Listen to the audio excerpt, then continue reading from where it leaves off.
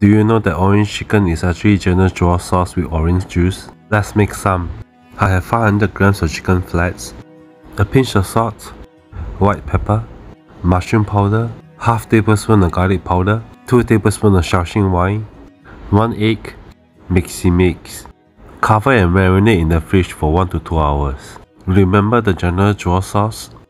We are gonna need 200 grams, then 200 grams of freshly squeezed orange juice. Mixy mix.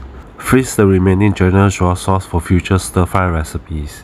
And I'm going to show you how to make use of these orange peels.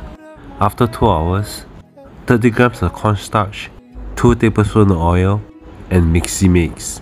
Heat up 4 inches of oil and gently drop in the wings. I like to drizzle extra batter over the wings to create extra crispiness. Deep fry until lightly golden brown. Pick up all these batter bits as well Drain off excess oil. This is what I'm talking about. Rest for 5 minutes.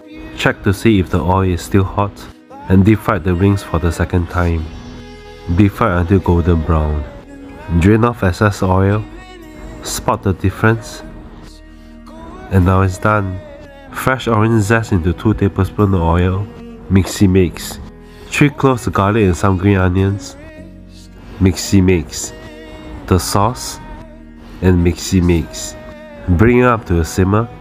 1 teaspoon of potato starch and 2 teaspoons of water. Mixy mix. Into the sauce and mixy mix. Adding the wings and mixy mix. Cook until the sauce has thickened. Some green onions, fresh orange zest. Enjoy. Get the full article at fatdough.sg. Let's devour this. I hope Panda Express won't sue me for this. Anyway, this is super chickenlicious. I hope you'll give this a try. Thank you for watching. Have fun in the kitchen.